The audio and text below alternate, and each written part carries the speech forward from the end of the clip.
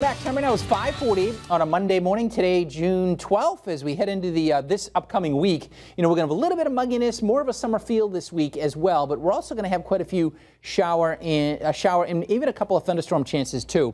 Uh, the first round of rain is going to come in tonight. Now, having said that, we've had a little spot shower overnight, but we're not expecting much during the daylight hours of today. We do have a mostly cloudy sky. Uh, we'll see a little bit of sun trying to work in today. And for the most part today, during the daylight hours, it will not be raining. Let's plan on some rain, some downpours, maybe a thunderstorm or two overnight tonight. So right now we're sitting at 59, which is actually a, one of the milder mornings that we've seen. And we're going to see readings come up close to 80 this afternoon. So quite a few clouds in the valley. But again, aside from a little round of light mainly light showers across Franklin County that have now dispersed. There's not a whole lot going on here. We couple, have a couple of spot showers across Berkshire County, but this will lift to the north, and if anything, will have a tendency to dry up, and the clouds will give way to a little bit of developing sunshine. But notice how we have a little green showing up, so we can't rule out an additional spot shower through the morning. Later on this afternoon into the evening, our shower chances will start to go up, but I think the bulk of the activity is going to occur overnight tonight uh, and uh, probably during the wee hours of the morning. That's we could have a period for a couple of hours of maybe some briefly heavy rain and some embedded thunder in there as well with the passage of a warm front.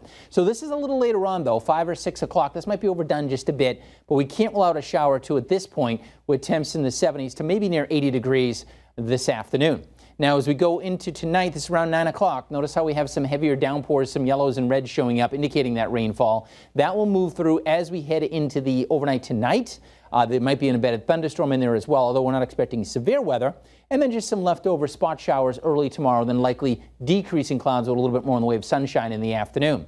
So as the kids head off to school this morning, cloudy, there could be a spot shower. It's coolish with that muggy feel, but again, it's milder than previous mornings. Yesterday we're in the 40s now. We're starting out near 60. And then in the middle and upper 70s as they're heading home. The bulk of the afternoon will be rain free and a little bit of sunshine will be working in.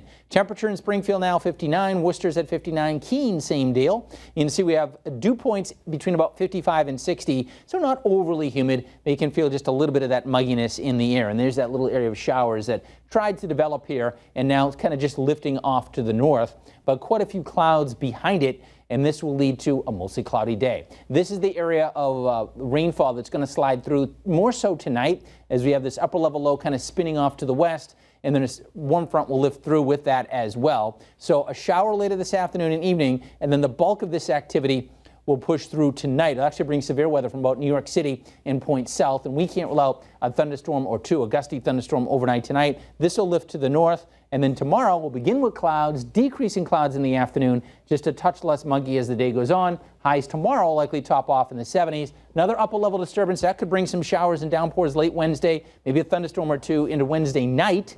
So there's another round of some rainfall. And then Friday right now looks a bit unsettled with some showers and maybe a couple of thunderstorms as well. So rather unsettled, no complete washouts or anything like that, but certainly keep the umbrella on standby this week. You're certainly going to need it from time to time. Now the check of the forecast in a few minutes. Amanda and David back over to you.